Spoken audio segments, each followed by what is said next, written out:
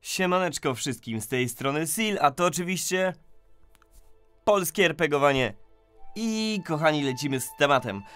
E, z czym lecimy? A wchodzimy właściwie, wchodzę tam, tak, właśnie tam wchodzę. A gdzie wchodzę? Wchodzę tu, w sensie tam, czyli karty, kafelki, kafelki, o których już kiedyś na kanale mówiliśmy, ale to było już kopę czasu temu i powiem wam wprost, że e, najstarsi górale nie pamiętam, który to był rok, bo to było jeszcze jak mieliśmy całą bazę i studio w Jaśle, a teraz mamy to jak mamy, czyli mamy to lepiej. Mm, bo mamy w Krakowie, no i sami wiecie, warto o tym opowiedzieć drugi raz, ale nie opowiadalibyśmy o tym drugi raz bez powodu, ponieważ te zestawy plus wichrowe wzgórza, o ile dobrze pamiętam, już ocenialiśmy, ocenialiśmy, opowiadaliśmy o nich, wskazywaliśmy dlaczego fajnie jest tego używać. Dzisiaj opowiemy o tym konkretnie i całościowo, na pewno wyszczególnimy dla kogo to jest, dla kogo to może nie jest, mm, powiemy o zaletach, powiemy o wadach, czyli kompleksowo, czy nazwiemy to recenzją? Sam nie wiem, zawsze mam z tym problem, wolę unikać tego słowa, ale nie wykluczam, można tak do tego podejść. Zwłaszcza, że już miałem do czynienia z tymi kafelkami i te poprzednie zestawy były przeze mnie często używane, ale jednak najbardziej będę się skłaniał ku nazywaniu tego jak zawsze odpudełczeniem. A dawno odpudełczenia nie było. Co prawda nie mam teraz tu pudełka, bo szkoda pewne rzeczy przenosić do Gulfona. Sami wiecie, troszeczkę najpierw coś przysyłają mi, ja to odbieram najczęściej z dworca głównego, potem to coś trafia do mnie na mieszkanie, a potem trzeba to nieść do Kulfona. Tak, studio jednak jest w innym miejscu, mieszkanie jest w innym miejscu i jest taka neverending story podróżowa. Tak czy inaczej przyniosłem to tutaj jeszcze w folice, więc widać, że jest nowe. I kochani, lecimy z gadżetami. Przełączmy się w takim razie na kamerkę drugą. No i tak, jak widzicie, mamy tutaj 1, 2, 3, trzy zestawy. Dwa zestawy znacie, bo dwa zestawy już były. Jest oryginalny leśny trakt, jest drugi, czyli mroczne podziemia, które też były na samym początku. Po środku brakuje nam wichrowych wzgórz, ale one są w innym odcinku, do którego prawdopodobnie teraz znajdziecie odnośnik w gdzieś tutaj, w tej, tej części filmiku, I guess. No, a przejdziemy tutaj.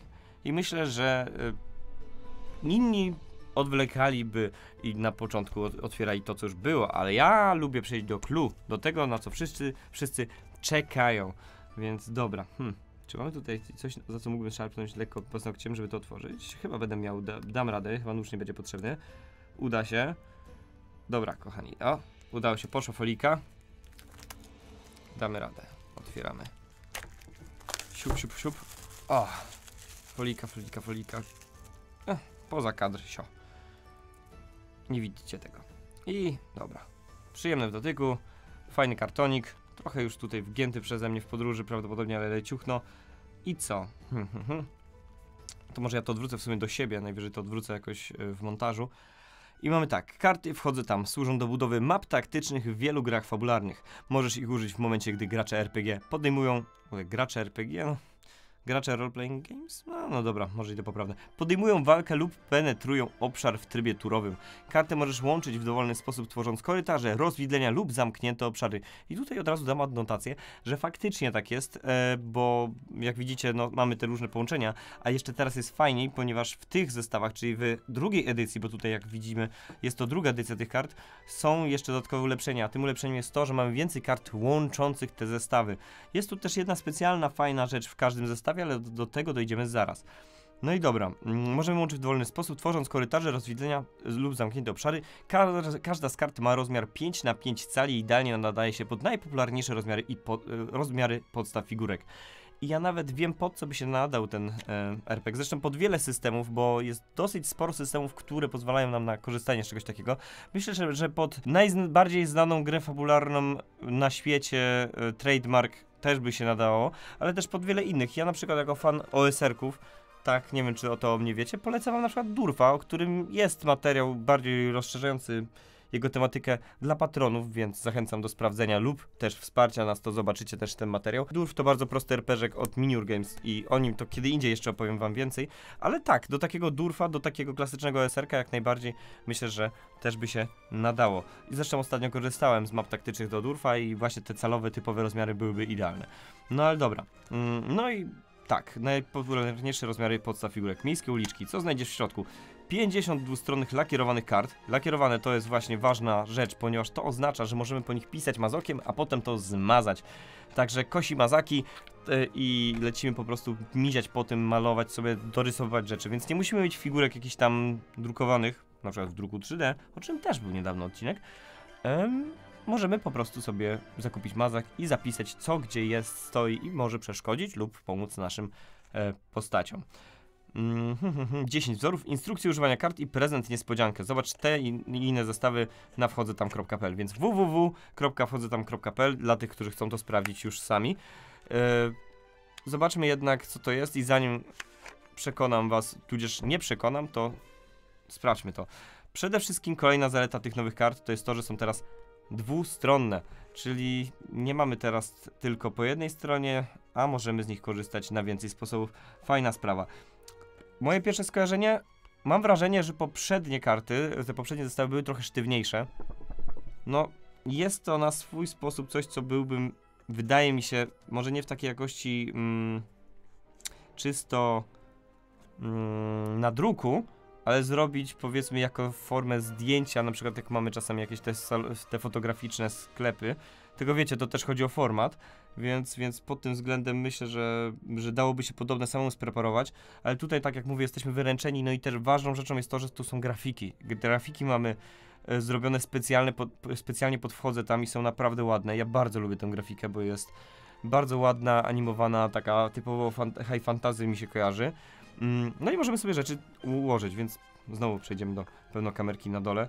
Um, mam, myślę, że się zmieścimy na spokojnie w tym i możemy sobie ułożyć po prostu jakieś uliczki.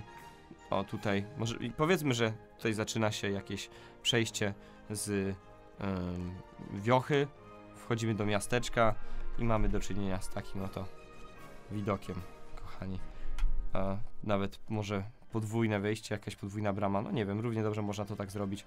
O, już teraz widzę podgląd, został mi załączony, dzięki Kulfon. E, I jak widzicie, no one są teraz podobne, ja wezmę jakąś inną kartę, żeby nie było, że są same takie same. Jak widzicie jest tych kart sporo, no tutaj bez sensu bym to stawił, ale mogę, mogę jakieś rzeczy nawstawiać. Em, no, w każdym razie, nie będę już budował więcej. Jak widzicie, po prostu całkiem spora mapa nam się ułożyła w bardzo szybkim tempie. Czy jest ona oryginalna, jakaś taka idealna? No, no nie, jest to raczej coś w miarę prostego, ale do starcia małego, no niekoniecznie musicie też takie duże rzeczy budować, ale do starcia na ulicach jest to myślę spoko, tym bardziej, że możemy to szybko ułożyć. Ogromną zaletą wchodzę tamków jest to, tak wchodzę tamki, tak lubię na nie mówić, jest to, że są przenośne, no jakby każda mapa niby jest przenośna, ale tutaj mamy malutką kosteczkę tak naprawdę i mamy cały zestaw do walk w danej lokacji. I tych lokacji jest dużo, bo mamy leśny trakt, mamy mroczne podziemia, mamy wszystko, co jest podstawowe. Mamy na... O, tutaj jakaś tablica w ogóle jest z ogłoszeniami, można sobie też to dodać do mapy. O, są ślepe uliczki, to się nam totalnie przyda. No, więc spokojnie można sobie jakieś rzeczy yy, robić, tworzyć. Mm, ja sobie pozwolę to już pozbierać. Albo przynajmniej częściowo. Zostawię jakiś pom pomniejszy układ yy, uliczek, żebyście mieli podgląd, jak to wygląda.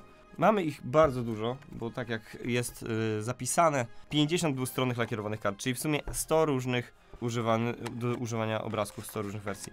Dziękujemy, że kupiłeś zestaw Wchodzę Tam. Mam nadzieję, że zestaw Miejskie Uliczki uatrakcyjni Twoje sesje RPG. Aby mocniej poczuć ducha przygód prowadzonych w mieście, mamy dla Ciebie jeszcze prezent klimatyczną muzykę na sesję. I to też było już w poprzednich zestawach, to jest ta niespodzianka, więc trochę spoiler, ale warto o tym wiedzieć, więc tak, w każdym zestawie wchodzę tam, dostajecie jeszcze dodatkowo utwory, których, z których możecie korzystać na sesjach.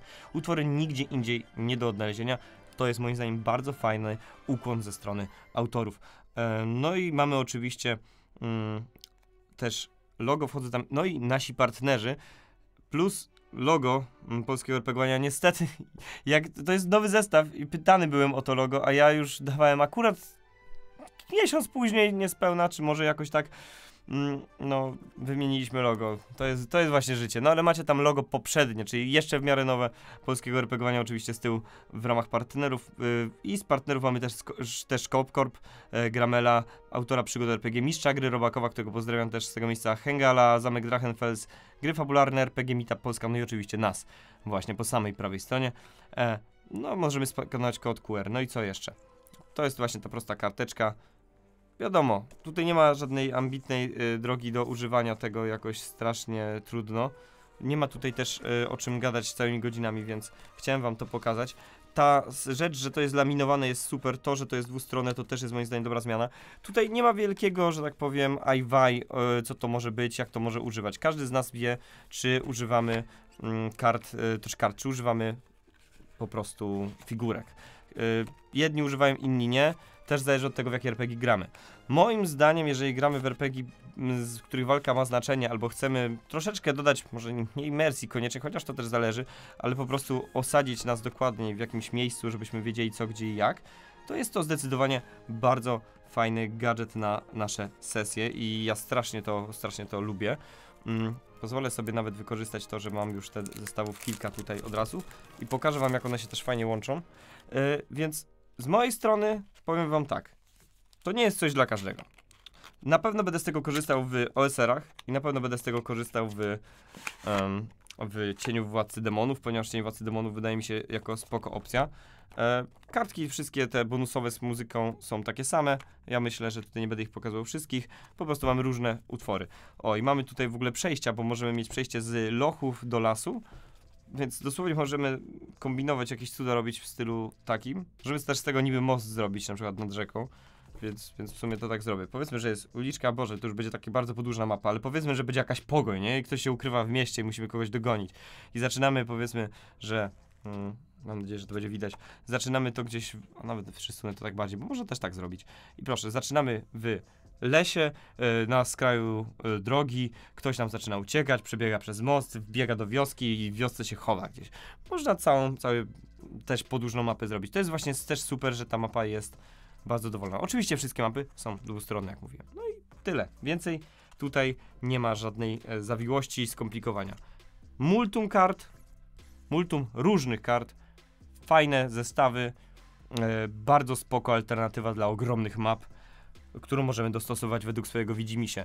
Fantastyczny produkt, który cieszę się bardzo, że powstał na polskim rynku, bo e, produkty do RPGów, jakieś kreatywne gadżety, to jest coś, co mam wrażenie, że większość sprowadzamy, nie zawsze tworzymy. Cieszę się, że ktoś się za to zabrał, dlatego pozderki dla ciebie, e, Sylwestrze, e, twórco, twór, tak, twórca nazywa się Sylwester, mm, że robisz tak fantastyczne rzeczy. Ja się bardzo z tego cieszę, bo i też będę z m- przyjemnością korzystał.